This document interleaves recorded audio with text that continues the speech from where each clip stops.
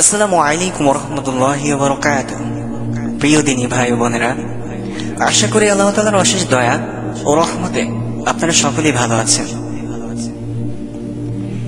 ইমাম আশ শাফি রহিমাহুল্লাহ বলেন, যে ব্যক্তি সুন্দর মৃত্যু কামনা করে, সে যেন মানুষের ব্যাপারে ভালো ধারণা পোষণ করে। আল্লাহ সুবান বলেন, হে ইমানদারগণ তোমরা অধিক ধারণা থেকে বিরত থাকো। কেননা, কোনো কোনো ধারণা পাপ হয়ে থাকে। আর তোমরা একজন অন্যজনের পেছনে গোয়েন্দাগিরি করো না। আর তোমাদের কেউ যেন অন্যজনের গিবত না করে। রসুল সাল্লাহ আলাইসাল্লাম বলেন, তোমরা ধারণা থেকে বেঁচে থাকো। কারণ ধারণা ভিত্তিক কথাই হলো সবচেয়ে বড় মিথ্যা কথা।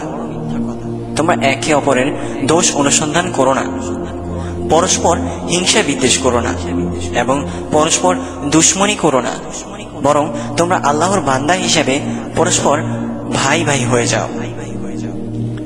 আমরা কীভাবে একজন আরেকজনের ব্যাপারে খারাপ ধারণা থেকে বেঁচে থাকব সেই ব্যাপারে একটু জেনে। যার ব্যাপারেই খারাপ ধারণা হবে, তার ব্যাপারে ভেবে নেবেন হয়তো তার অনেক গোপন আমল আছে। হয়তো সে আপনার থেকে বেশি ইবাদত করে। যা আপনি জানেন না। জানলে তার ব্যাপারে উচ্চ ধারণা রাখতেন।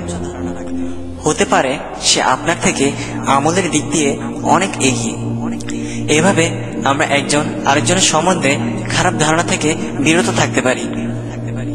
গিবত যে কত বড় একটা মহাপাপ, তা আমরা কম বেশি সকলেই জানি।